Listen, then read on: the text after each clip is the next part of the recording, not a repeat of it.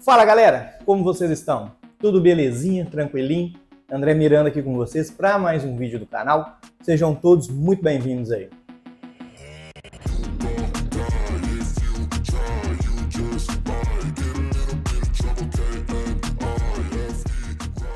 Então, galera, hoje é o seguinte. Hoje eu vou dar a minha opinião aqui, que muita gente me pergunta entre Pioneer MVHS 218BT com JBL Celebrity 100.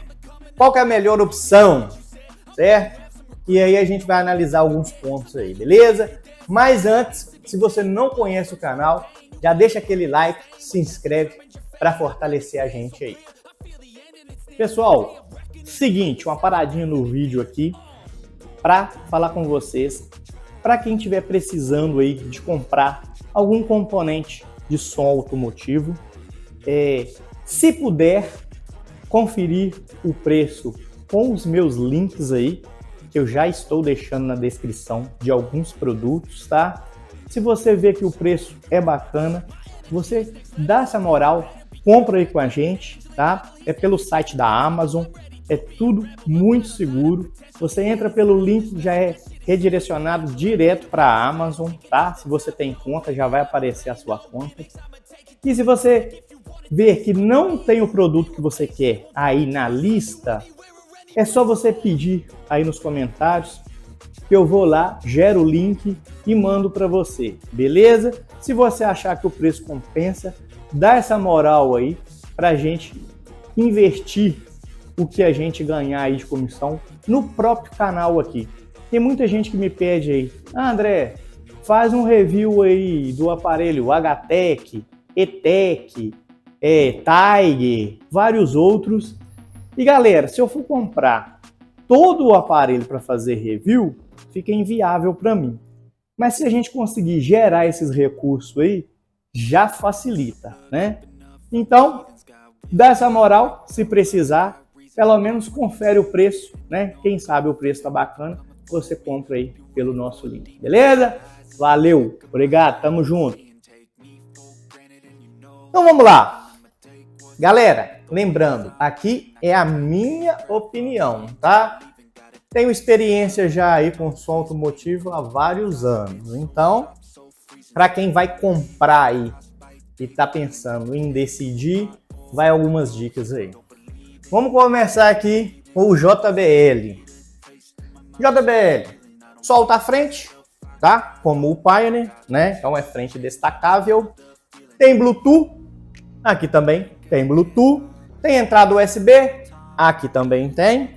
Tem a saída auxiliar, né? Entrada auxiliar, aqui também tem. JBL tem entrada para cartão de memória SD, tá? Por trás da frente. Você retira a frente para colocar o cartão. Aqui já não tem. Então aqui tem uma opção a mais, né? E rádio aí, aqui rádio AM e FM, aqui somente FM, tá? Então, galera, é, Vamos falar agora de custo-benefício.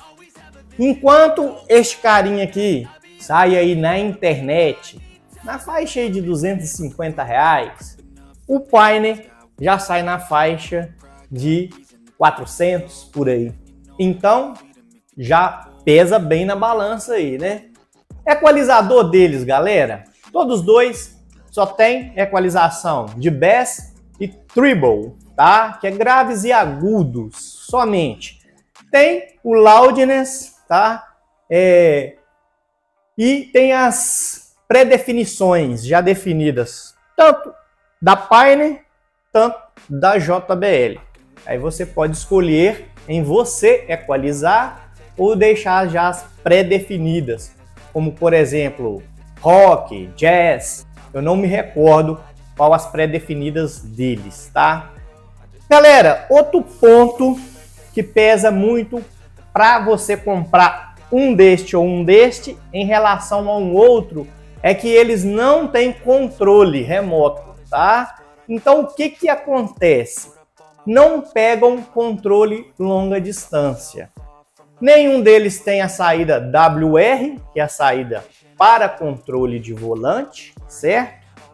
Então não tem como ligar também o controle longa distância JFA Headline.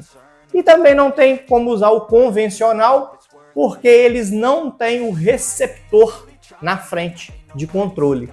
Então, não tem como colocar controle longa distância. Eu estou até para pegar um MVH S218BT na troca de um MVH X7000BR, que o cara faz questão de usar o controle longa distância.